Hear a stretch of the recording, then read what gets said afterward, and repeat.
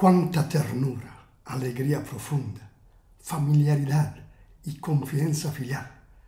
Confianza ilimitada se traslucen de las palabras de Jesús al Padre, que escuchamos en el Evangelio del domingo 9 de julio.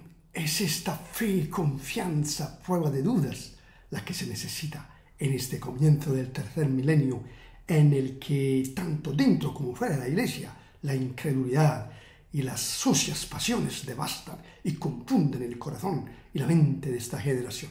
Bienaventurados los que, como nos recuerda San Pablo, renunciando al pecado y sometiéndose al dominio del Espíritu, conquistarán esa libertad que nadie puede quitarles.